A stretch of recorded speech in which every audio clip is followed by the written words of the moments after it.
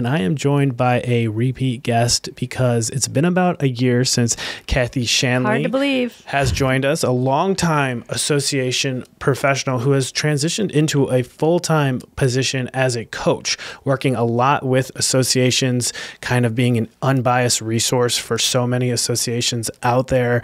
And it's been about a year since Kathy joined us for an episode.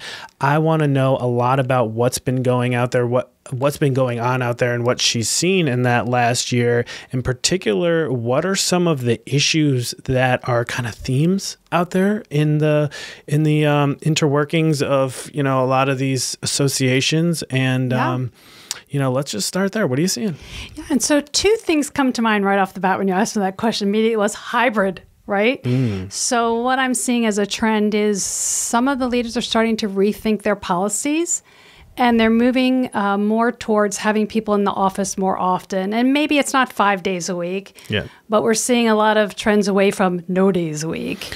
Yeah. And so that's one trend. And so what what I would share with you is that people are talking about okay, if you want us in the office, how do we make sure that time in the office is well spent?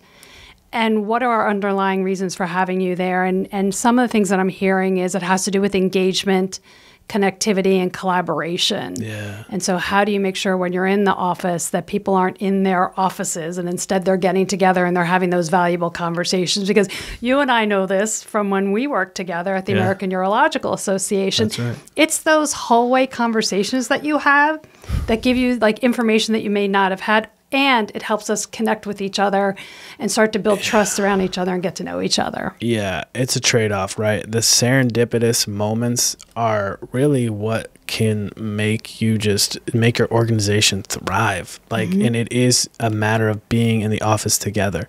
And then the cost of that is the commute, and it is it is the fact that you gotta, you know, get get up earlier and do all the do all those you know pre-work things you got to do. Um, but i mean i work with associations too and i have these conversations with the people i work with and i am hearing two different things in this hybrid environment and one of them is you know, a pop in into someone's office that used to just be like a, a a five second thing that you would you would just go into someone's office and tell them something and, and then they would go oh, okay that makes perfect sense you know that's becoming an email or a text or something like that and Yeah. sometimes there's a difference in how we read messages versus how they're communicated orally like does that make sense and sometimes I think you just set me up for my second answer. Go ahead, go ahead. that was exactly where I was going. So, the second trend is how people are communicating Yeah. and how well they're communicating. yeah And so, one of the things that we we know, I mean, there's tons of data around there, is the importance of being able to hear someone's voice, to read their tone, to look at their facial expressions, to get the meaning behind whatever message is being sent.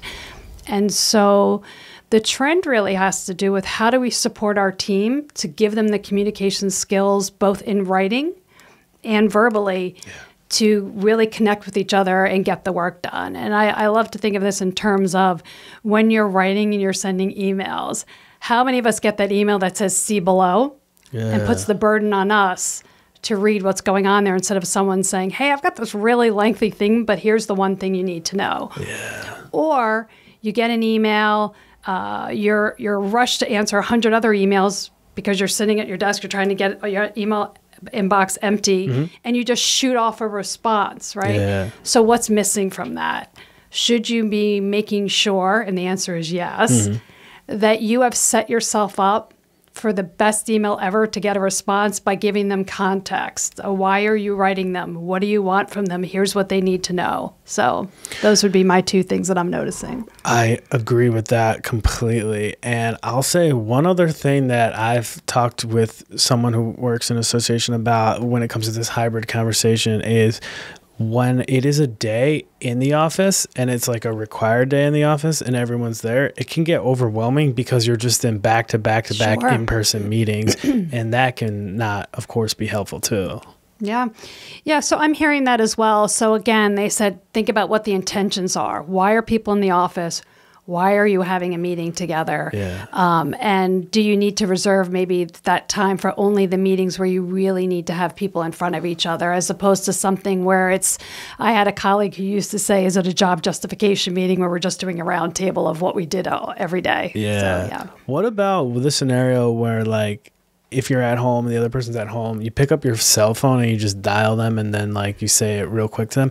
Is that are people like okay with that? I feel like sometimes it's like you see the your phone light up and you're like, why is this person calling me? Am I in trouble or what? Is this going to be a big deal? And the person literally just has like two seconds to say something that that just would be way easier to say it on the phone than like type up an email. Yeah. Um, and I know, but there's like that barrier. It's like mentally, like, do I want to call this person? Like, and then there's a missed call, and then they might think, why is there a missed call? You know? Yeah. So would you knock on somebody's door and just walk in when you're physically there? So I like to say, let's use a little bit of, um, not to be marginalizing what you just said, but Yeah, yeah. let's use some common sense, right? Okay. If you would just walk down the hallway and knock on someone's doors and show up, then why can't you just pick up a phone? True. I will say that one of the things that I do like to think about as a courtesy is if you are calling someone, leave a message if they don't pick up and tell them why you're calling.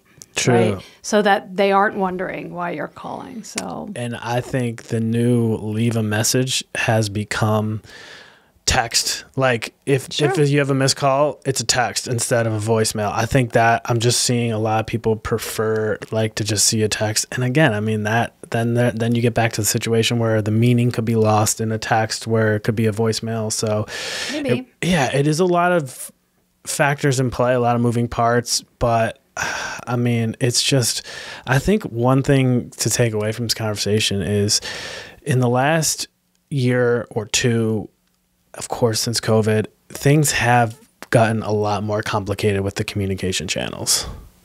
Yeah. And so the one of the things I love to think about is when I'm planning to have a conversation with someone, whether it's one on one or whether or not it's with a group of people, just really figuring out how do we communicate best with each other. Mm-hmm. And it may depend, right? It may depend on what day of the week it is, if it's early in the morning, or if it's a super difficult conversation, or if it one there's one that there's just there's nothing you could say that would cause this conversation to go south Yeah. and then knowing how you usually communicate with somebody. For instance, I know that I had one uh, person that I work with that did really well with they wanted everything in writing with short bulleted points, get to the point, you're done. I have other people that they like to, you know, like they want to have the appetizer first and then they want a the little warm up. How are you doing? How are your kids doing? And then they want it, and they like a conversation. So I think about the person I'm talking to mm-hmm. and what's going to get me the outcome I want. And then I frame my conversation how I communicate based on that. I mean, that is kind of 101 communication there, kind of tailor the message to the audience. Yeah. I think we try to do that in podcasting. You know, we try to have a, a persona and we think about who is on the receiving end of this message. Are we doing a good job reaching that person that we've kind of, you know, identified as our avatar or the, the person we think is listening? Yeah. So I think, I mean, that's huge. Co- communication is always going to be a big one in the association space in all workplaces. But again, I think I'll just underline the complications that have come about since COVID in the hybrid workplaces and just, you know, being able to communicate something you could just do in a hallway conversation is becoming more and more difficult. Now, there is an upside to that when you can hire people from all around the country or even world if you know global organization you know Yeah. you're opening up the talent pool. So there is the trade-off. I'm not here to just spout doom and gloom like hey when the offices are closed it doesn't you know it's not as good because there's there's a trade-off. I keep saying it but it's like you can you can hire more people. You can open up that pool of people who don't have to just commute and then of course you save time when you're not on the road Yeah, and and as I said in the very beginning, right? Um, is there a number between five and one that works best for each organization? Every company is different, right? And every department within a company is different. So just give yourself some flexibility and be open to having discussions with the team Yeah. on what's going to work best for us to do the work that we want to do on behalf of our members uh, every day. I think table stakes should just be, hey, everyone here understands that trade-off and everyone here under is is trying to make this work. And that's why we're seeing a lot of these hybrid solutions. Um, people understand there's a there's a, a double-edged sword here and it's a mixed bag so i mean I, I, tip my cap to the organizations that are trying to, to make this work through the hybrid model and, yeah. and and not just be rigid in one way or the other and i think a lot of it comes back to trial and error i think organizations should be open-minded to changing what's not worked uh, emphasizing what has worked and just being willing to um, say, hey, this isn't set in stone. Yeah, I 100% uh, agree with you. And I have to say, so I know that I work best at 5 a.m. I think you might have been on the receiving end of a few 5 a.m. I am in La La and, Land, yeah. or my son has woken me up and I'm trying to get back to yeah. La La Land. So. And so for hybrid work for me, I could get up, I could be in my pajamas, I could be there with that big old cup of tea, yeah. and I could be working at 5 a.m. when I'm at peak time and hybrid work allowed me to do that right of course and i'm so. and i'm the opposite way where i can get a boost in the evening time when people have been shut maybe you know shut down. And yeah me. Yeah no for sure. And and it's about understanding how other people work and not being um, not taking it personal if that you don't receive an email back right away because this person is you know they're off hours. But then again it is also you need to have some boundaries too because you can't just be a person that works all the time and is always available to respond to emails because we need to have boundaries um, a lot of people working from home just have a, do struggle to find those boundaries. I know anecdotally talking to people. Yeah. Um, I've heard a lot of like um, hacks and solutions that people have tried to kind of uh, to to counter the feeling that they're always working because they work from home. Yeah, I would say that is another trend that I have seen. And it's something that I've been hearing for a couple of years now is that I'm not setting appropriate boundaries, right? Mm-hmm. And so, one of the magic questions I love for them to ask themselves is when you say yes to working, when you say yes to answering that email, what are you saying no to? And oftentimes that's a game changer for them. Like, yeah, by sitting in front of this computer and answering these emails, I'm saying no to time with my family, or going to the gym yeah. or cooking one of my favorite meals or for people like me maybe catching a rerun of um, real housewives of new jersey okay or catching up important. on or catching up on sleep yes we know the sleep studies out there and what that what they right. tell us about how you can't make up you know sleep and how important that is yeah. yeah you are you are when you say yes to something you're you know we only have so many hours in the day you're saying no to to something yeah. else yeah, and the guilt of kind of some of that can can get overwhelming too, and you're just like, you know, what did I do here? So again, it comes back to really thorough decision making. What are you saying yes to? Learning how to say no with grace and being, you know, uh, you know, are, are you seeing a lot of people struggling with having meaningful conversations about like saying no and setting up boundaries? Not too much. I think it's more of the conversation they're having with themselves. Mm. You know, like I shouldn't be working all of these hours, or I feel as if I'm drinking from a fire hose. And then I ask them, and so um, why are you doing it?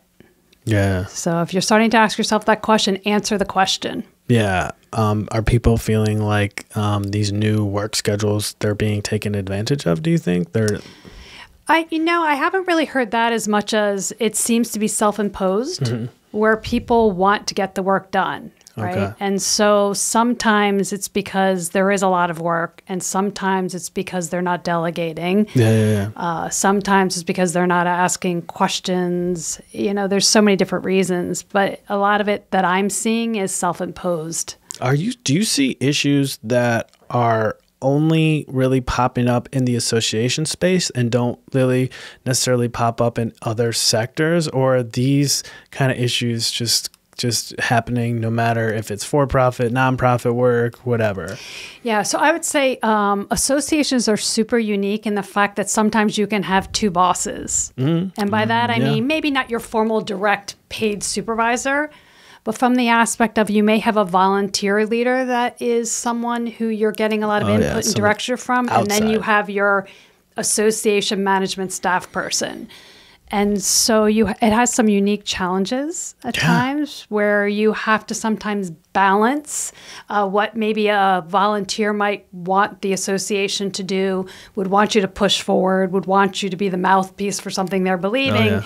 versus always remaining true to the association. And I like to think of it in terms of remember that you are speaking on behalf of all of your members, mm-hmm. uh, not just on behalf of one person. So. Wow. Yeah. I don't, e- yeah, I, I, that is so unique to associations that, yeah, you, I mean, you, it, because it, you have to have a conversation, approach a conversation differently with someone who's volunteering their time for the betterment of your organization. Yes. And that does make it a little more nuanced. It does. And, you know, um, I've mostly found in my experience that their heart is in the right place. Yep. They're super passionate about what they're talking about. And so then, how do you provide uh, information to them to say, like I used to love to say, to back it up a little bit, I used Yeah. to love to say, I know where you want to go. I have a different way to get you there. And that way they know that we're in it together. Yep. Uh, it's just that perhaps their way is maybe not following the process that you have to go through that you know those checks and balances of it has to go through a work group and has to go through a committee and then it has to go through a budget process. Because uh, none of us really like to hear the word no. So then how do you when you're working with volunteers craft that conversation in a way of hey i know what you want. Let's figure out a way to get there. And it might not be the way you just said but we'll figure it out Kathy, you've been on the show now twice. We've been about a year since we last had you on. Any other final thoughts for us about what you've been seeing out there in the last year or so with associations?